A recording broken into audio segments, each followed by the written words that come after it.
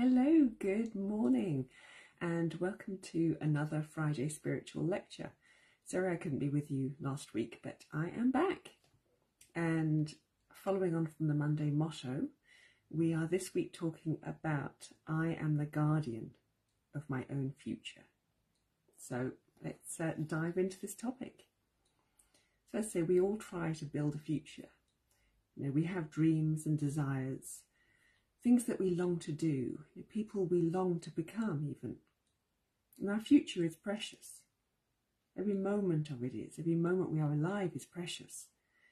And quite rightly, we need to protect it from others who may not share our vision of the world or of our world, indeed.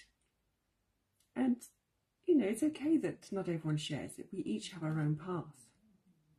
I mean, for instance, when I began to work in you know, the business of energy.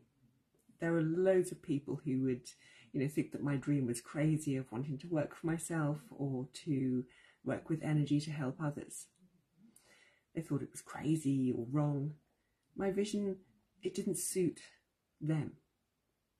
But for me, there was never any doubt. I always knew that this was where I was going to go. So, what was important was that I defended my dreams that I consistently stood up for what it was that my heart and my soul knew that I had to do. And so I kept pushing forward. It's vital, it is so vital if we're going to build these dreams to really hold them dear, to keep them close to us. Not secret, just close in our heart. Why? Because, well, other people love to get involved. They love to get involved in our lives and our choices and they have opinions and feelings about which way our life should go, even about who we should date, what we should eat. It's amazing. And generally, you know, it's fine people giving opinions, but at some point it begins to interfere in our dreams because we begin to alter what it is that we want in order to make it easier for someone else. And, you know, in some way, other people's energy always affects us. Always. So we do really want to stand up for what it is that we want. So, keeping our desires secret? No, we don't have to. But being selective in who we tell, that is important. Now, the best supporter that we have in life is simply someone who supports us. Someone who would always, without bias, without prejudice, support us for what it is that we want to do without having an opinion on where we're going or what they think might be a mistake for our lives. Then we can use their empowering energy and help build this dream. So, just as we protect our homes, our families, we also need to protect our dreams from these unwanted and negative energies. You know, we look back at some of the most incredible moments in history and we can see that it was when the collective came together with, uh, with one dream that this happened because they all supported each other.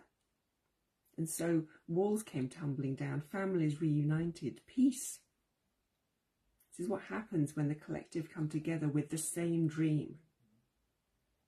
And it is so important for us to believe in our dreams.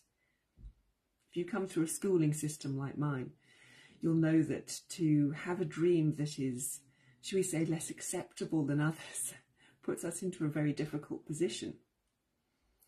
You know, I certainly didn't want to go to university. I didn't want to uh, go into an office.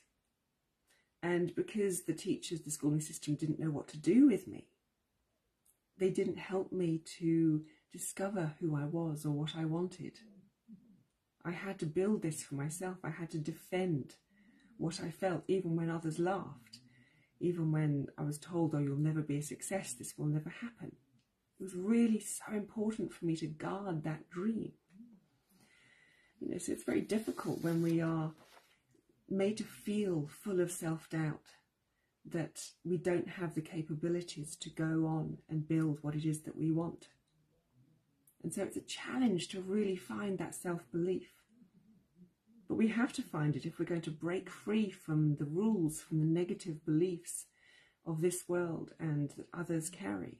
It's so easy for us to absorb it, to become that sponge. It's time for us to see our desires as important as anybody else's. Because there is no hierarchy in dreams or goals. There is no one dream that is better than somebody else. Each person, each of us must live according to our life and our soul path. The dream that you carry may seem silly or irrelevant to somebody else, but it doesn't actually matter.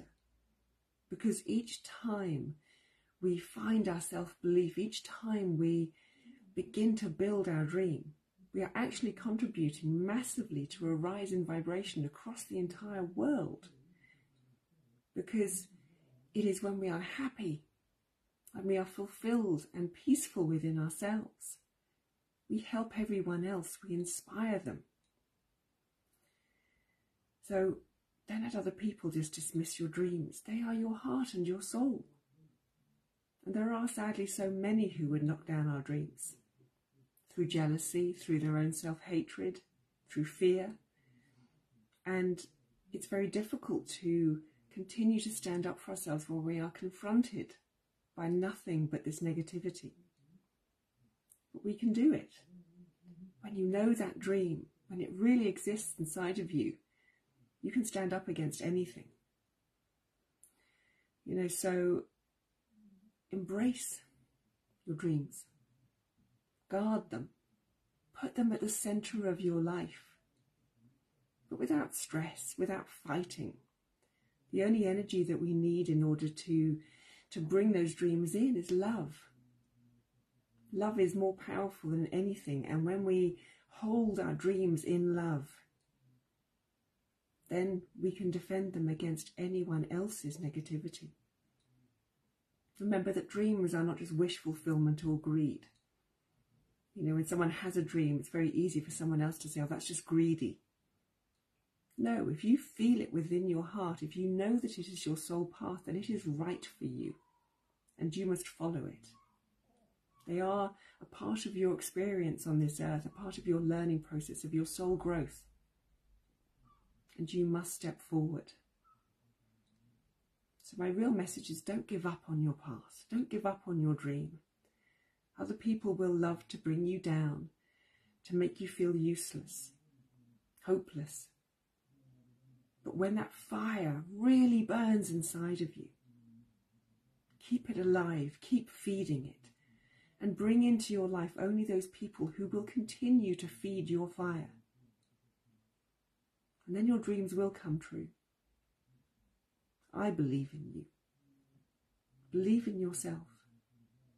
The universe believes in you. Call it in. So please follow the path that is right for you and guard those dreams. They are as precious as your heart, for they are a representation of all that you are. So I hope that helps.